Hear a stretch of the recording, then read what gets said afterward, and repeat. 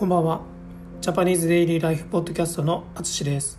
このポッドキャストは日本語を勉強している皆さんに向けたポッドキャストです。はい。こんばんは。皆さんお元気でしょうか？えー今日のね、北海道は天気良かったですね。はい。うん、朝から、朝はちょっと曇ってたのかな。うん。昼からは綺麗に晴れてました。今日もちょっとランニングをしてきました。はい。えーそうですね。体を動かすとちょっと頭がすっきりしますね。はい。で今日も N4 の文法をしていきます。はい。今日はね何々ところですをやります。これは今からすること今していること今終わったことなどを話すときに使います。何々ところです。ですね。はい。では早速例文をいきます。今から飛行機に乗るところなので着いたら連絡します。今から飛行機に乗るところなので着いたら連絡します。はい。これは今からすることですね。はい。なのでこうやって使います。次がちょうど今からご飯を食べるところです。ちょうど今からご飯を食べるところです。はい。これも今からすることですね。はい。まあ大体この今からする時は今からとかちょうどとか先につくのであの分かりやすいかなと思います。次。今電車に乗っているところなので後で電話します。今電車に乗っているところなので後で電話します。はい。まあこれはまあ日本ならではかもしれないですね。電車に乗ってる時は電話しないのであの、まあ、かかってきてもあちょっと後で折り返しますみたいな感じで言うんですね、はい、なのでこの例文では、まあ、今電車に乗っているですね。これ今していることなので今電車に乗っているところと言いますね。なので後で電話しますと言います。次が今連絡しているところなのでもう少し待ってください。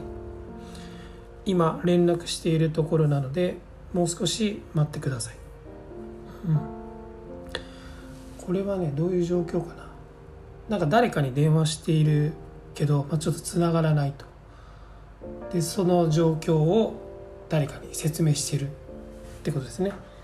はい。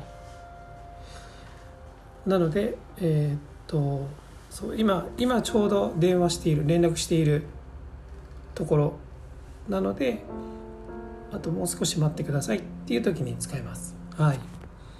最後いきます。今駅に着いたところなのであと5分ぐらいです。今駅に着いたところなのであと5分ぐらいです。はい。これは今終わったことを言ってますね。はい。なので過去形になってます。今駅に着いたところなのであと5分ぐらいですはい。という感じですね。はい。どうでしょうか？イメージできるでしょうか？うんうん。これも使いやすいと思います。うん。多分僕もレッスンでよく使ってるかな。うん。あ起きたところですとか。うん。えー、起きたところです。うん。ちょちょっと他思いつかないんですけど。はい。はい。えー、とまあいいや。まあ皆さんも一緒に声に出して練習したりあのぜひ例文を作ってみたりしてください。はい。あの昨日の昨日のポッドキャストでも言ったかな？うんうん、まあ、僕のレッスンではこういう例文を作ったりする練習もできます、えー、もちろんそれ以外にも一緒に日本のニュースを読んだり、えー、いろんなトピックを話したり、うん、いろいろできます。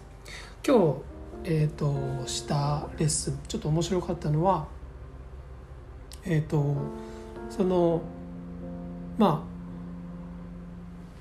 あレッスン受けてくれてるね人がすごい僕にいろいろたくさん質問してくれたのでどっちかというと僕が話してる時間がちょっと長かったんですけどあのでもなんだろうそういうレッスンの時間もあってもいいかなと今日ちょっと思いました。あの質問する力も必要ですよね。はい。あのコミュニケーションなのでまあ自分が一方的に話すんじゃなくて相手に質問して聞く、うん、っていうのもすごく大事だなと思ったので、えっと、今日は1時間のレッスンの中で多分6割か7割ぐらい僕が話してる時間が多かったんですけどまあでもあのうまく、えーと、生徒さんが質問を使ってくれたので僕の会話をこう引き出してくれたのですごい面白い時間でした。はい、えー、もし話してみたいと思った方は、えー、ぜひオンラインレッスンでお話ししましょう。お待ちしています。ということで今回も最後まで聞いていただきありがとうございます。ではまた。